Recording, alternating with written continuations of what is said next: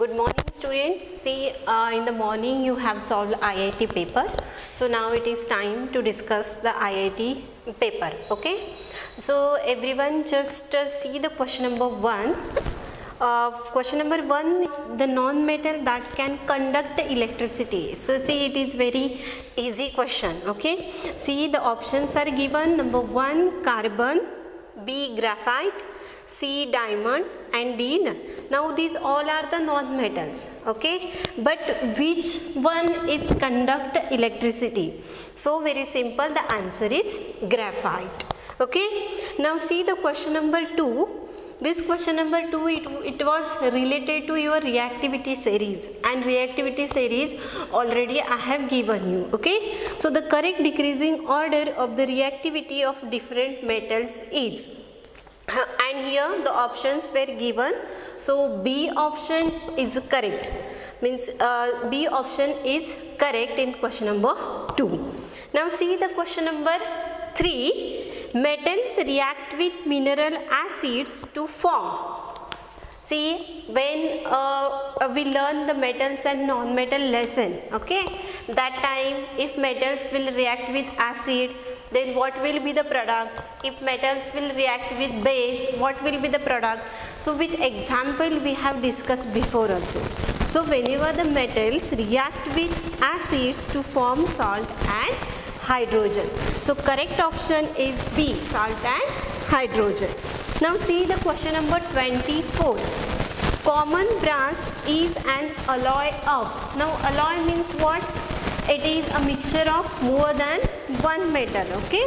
So brass is a alloy of copper and zinc. It is the mixture of copper and zinc. So option c is correct now see question number 25 sulfur is used in a vulcanization of See in the last year we have discussed the galvanization and vulcanization. I think so in 6th standard also we have discussed about the vulcanization. Okay, in the vulcanization process what happened the sulfur is used to give the hardness of that particular substance. So the correct option is number 1 tire. Okay, sulfur is used in uh, to give the hardness of that substance. So the first option tire is correct.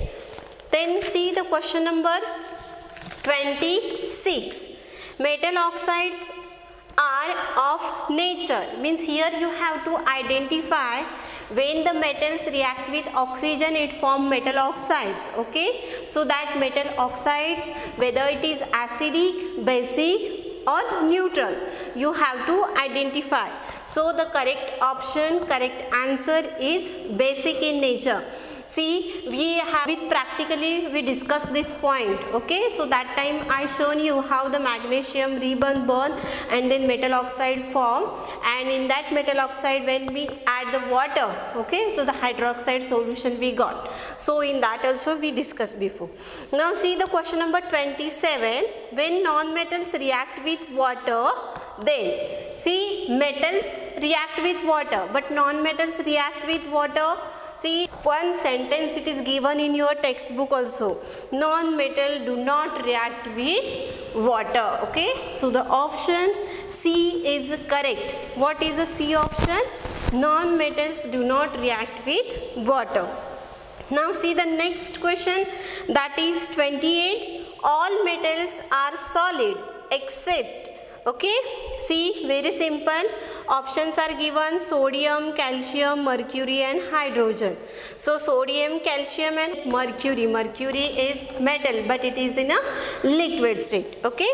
Now see the next question. That is question number 29 sodium metal is stored in kerosene. Why? Because it is highly reactive. Okay? So it is kept in a kerosene it is stored in a kerosene. Now next question. They are not sonorous and are poor conductor of heat and electricity. These materials are means here which which are the not sonorous and poor conductor of heat and electricity? Options are given element metals compound non-metal See in the difference metals and non-metals. So mostly all the metals are word is given not okay? So non-metals are not sonorous and poor conductor of electricity. And metals are they are having sonority property as well as they conduct the heat and electricity okay? Now see the next question which of the following statement is incorrect okay so for that you have to read question properly Gold and silver are the most malleable and ductile metals, correct? Because both are metals and uh, most malleable and ductile. Okay, correct. This sentence is correct. Second one, all metals are hard and strong. Now here we have to think it. Third option, mercury and gallium are metals which exist in a liquid state at room temperature. This third one option is also correct. Now see the fourth, most of the metals have high specific gravity. This option is also correct. So option A, C and D correct. So which one is a Wrong. Option B. All metals are hard and strong. Why? Because all the metals are not hard and strong. See, sodium and potassium are very soft metals. Okay. So, the correct answer is option B. Now, see the next question. Question number 32. Read the following statement carefully and identify X, Y and Z respectively. Okay, so first X is a store under kerosene. See, here immediately you have to click it. Means see, X is a store under kerosene. So which is store in a, kerosene? Sodium. So you will get first Na. Then Y catches fire on uh, store in water means why see that practical also we did okay? Phosphorus okay? So second one is phosphorus. First one is sodium. So you got the two x and y. Now z react with steam. So iron is react with steam. So which option is correct? Option b na p and fe. Means sodium phosphorus and iron now see the next question number 33 the oxides of sulfurs which can be further oxidized when dissolved in water gives. Okay see here I written the reaction oxides of sulfurs. Means when the sulfur react with oxygen it form sulfur dioxide okay? And when the sulfur dioxide react with water it form a phosphorus acid. The same equation I have given you. Just open your chemistry notebook. In that it is this equation this chemical reaction I have given you. So which one is a correct option? Option B okay? Then see the next. 34 how many electrons are generally present in metals in their valence shell? Now valence shell means what? Outermost shell. So how many electrons are present? Mostly in all the metals. Okay? So see here. Metals generally have one two or three electrons in their outermost orbit or valence shell. For example, see sodium, sodium 2 in first shell, second shell 8 and last means valence shell 1 electron. Okay. Magnesium 2, 8, 2 in last valence shell 2 electrons and aluminum in last valence shell 3 electrons. Here I given some examples of metals. You just go through that or you can write more examples also then you will uh, judge the mostly all the metals have 1, 2 or 3 electrons in the outermost shell. Okay. So the option which uh, option is correct? 1, 2 or 3 option A. Okay, now see the next question, question number 35. Aluminium foil is used for wrapping food. On which property is it used?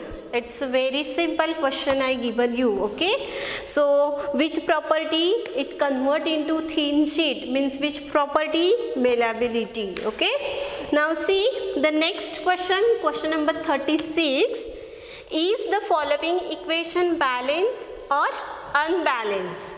Okay? Means what? You just have to see is the equation is balanced or unbalanced? We see the equation Fe plus S, it gives FeS. Now see Fe 1 sulfur also one atom and here FeS1 so it is a balance equation. Okay? Now see question number 37 which of the following correctly balance this equation? Okay so here first one equation it is given. And which one is the balance equation that you have to identify? Okay so see here. Uh, see this equation it is given H2 plus Cl2 it gives HCl this already equation it is given okay? And downside options 2 H2 plus Cl 2 it gives 4 HCl B option H2 plus Cl2 it gives 2 HCl okay? C option 3 H2 plus 3 Cl2 it gives HCl and D option H plus Cl it gives HCl. Now you tell me in these four options which one is the correct option? See in this reaction what they given here hydrogens 2 atom and chlorine 2 atom. So here HCl. So which one will be the correct option? See here if we will give the 2 then 2 hydrogen and 2 chlorine atom. So for that which is the correct option? See option number B is the correct option. Okay. Now see the next question. Which of the following is an unbalanced equation? Now here you have to find out unbalanced equation means there some equations are given and you have to find out the unbalanced equation. I will write only just correct option which is unbalanced equation and why it is unbalanced. See PbO2 plus 2H2 it gives 2 Pb plus H2O. See just you have to identify see here Pb only how many atoms 1 and here 2. So here only you will get the answer. So this is a unbalanced equation. Okay. Now see the question number 39. True or false? Chemical equations use symbols instead of words to summarize chemical reaction. See, whenever we are writing the chemical equations, we are using the symbols. We are not writing the words. Okay? So this sentence is correct. So answer is true. Next the substance at the beginning of the chemical reaction are called. Okay? The substance at the beginning of the chemical reaction. Means now see he, these are these two substances are the beginning of the chemical reaction so this is called as a what you will say it is a product no, because product is here. This is product. Then yield, yield means also the product. How much percentage of yield means chemical symbol? No. So the correct option is reactant. Okay. Now see the question number next 41. What coefficient should we use to make the following equation balance? Okay. See here the equation it is given N2 plus O2 it gives okay so it dash NO means just you have to write here the number when this reaction will balance now see nitrogen also 2 atom also 2 atom so here it should be 2 means 2 nitrogen and oxygen. So which uh, option is correct? B. Now see question number 42. What is the part of the chemical equation in green called? Actually green word is written but the black which one is highlighted? That part you have to identify. So that is a reactant. Okay? Now see how many atoms of aluminium are on each side of the following equation? Now see the equation it is given. 4al plus 3o2 it gives 2Al2O3. Now you have to see how many atoms of aluminium. Means here you just have to think about aluminium. Okay. On each side of the following means this side also and this side. See 2 2s are here 4 atoms and here also 4. So which option is correct? 4. Option D is correct. Now see next question number 44. Why is the following chemical equation not balanced? Okay, see the chemical equation it is given H2 plus O2 it gives H2O. Okay, why it is not balanced? Because here hydrogen 2 atoms, here oxygen 2 atoms and here oxygen only 1 atom. So it is not balanced. So which option will be the correct? See first, each side of the equation has a different number of oxygen atom. Okay, so this first option is correct. Now see the next question, question number 45. What is a chemical equation? Now here what is a chemical equation? A short way to show a chemical reaction using symbols is known as a chemical equation. So maybe you have whatever the your doubts maybe it's clear. If still you have any doubt regarding any question you just contact to me okay? So today we will stop here. Thank you